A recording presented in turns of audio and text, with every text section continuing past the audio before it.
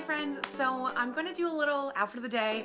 I know there's a pretty old school YouTube, but I'm gonna do one from day to night. So this one is Valentine's Day themed. So I'll start with my daytime look, which is the quintessential Lazy Shannon. So I have this big ass sweater on.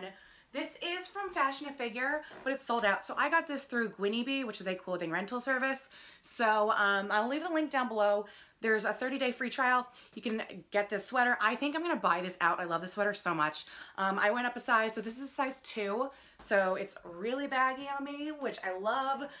This one is pretty cool because it has a zipped back. Um, mine zipped all the way down, but you can like, you know, play with it.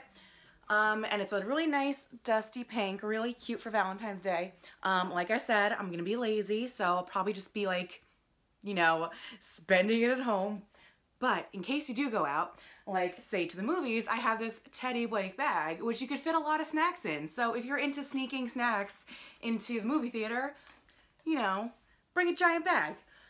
And then how far should I back up? I have these black leggings. So these are LuLaRoe and I have a video coming out on these soon about my first impression of these. So I just have these black LuLaRoe leggings on. So now we'll bring you to the nighttime look. Okay, and this next one, this is for nighttime. This is if you really want to grab someone's attention or take their eye out. So this is a dress from FTF. Um, again, I think this is sold out, um, but I'll link anything similar I can find down below. So this one has like boning here to make this really stand out. Um, I just really like the color. It fits very well. It's a bodycon, so it's gonna hug everywhere. in the viewfinder, I can see my belly button hole, but in person I can't. So, um, but I just really love this look up here.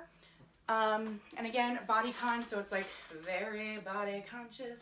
So I think this is really cute. Add some heels. Again, add this bag. This is a good neutral color, so we'll go with a lot.